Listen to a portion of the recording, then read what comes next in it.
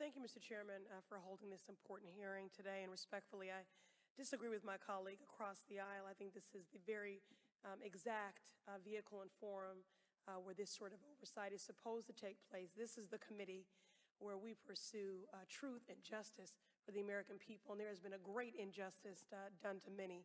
And so uh, um, I'm grateful uh, for the hearing today. I find it insulting to this committee and to the men and women across this country whose trust in Johnson & Johnson has destroyed their lives or the lives of their loved ones. Today we have heard brave testimony from people like Pastor Etheridge. And let me say what Mr. Gorsky wouldn't. I'm sorry. I'm sorry for the pain you have endured because you put your trust in a company that placed profits over your very life and safety. When Johnson & Johnson asked people to trust them, the FDA should have said, show us. Show us that your products aren't hazardous. And when they refused to do this, when research showed that asbestos was showing up in their talcum baby powder, rather than inform the public through warning labels, Johnson & Johnson tried to discredit it. They looked for ways to sell more of it, and they set their sights on black and Hispanic women. Mr. Gorsky, I hope you are watching today because we still want answers. And that's exactly why Representative Schakowsky of Illinois and I uh, earlier uh, submitted a letter that we planned, submitted a letter um, so that we can continue to get to the bottom of this and to demand answers and accountability uh, for those who have been harmed by Johnson & Johnson because of their company's greed. And they deserve to be held accountable.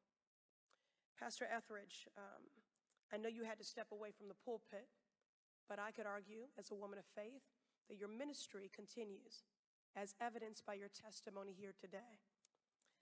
Could you uh, share with us what were your initial symptoms? Uh, my initial symptoms were unexplained weight loss. Uh, I never lost weight by accident in my entire life.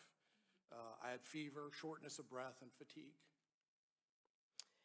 And so, um, and was there, uh, was there uh, any other uh, context around this? Were you going on a trip or something, or? Uh, we were on vacation in Okay. Hawaii and had some, was taking antibiotics, and my symptoms, instead of getting better, were getting worse. And so we went to an ER, and I was diagnosed with cancer at that time. It was later determined upon my return home that it was mesothelioma. Thank you. Um, I have some more questions, and um, due to the interest of time, if you'll um, please try to answer them as succinctly as possible, preferably with a yes or no answer. Did you consult additional doctors when you returned from vacation? Yes, Did your doctor discuss with you the causes of mesothelioma? yes, Have you ever been exposed to asbestos in your profession as a pastor? no. How long have you been a pastor? I was a pastor for 33 years. How often in adulthood would you use Johnson & Johnson's talcum baby powder, and for, for what purpose? maybe two or three times a week to powder my genitals after I showered. Common.